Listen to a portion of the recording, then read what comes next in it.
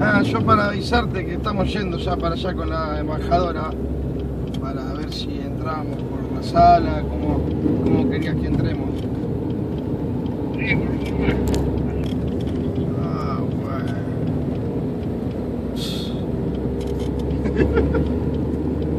Ah,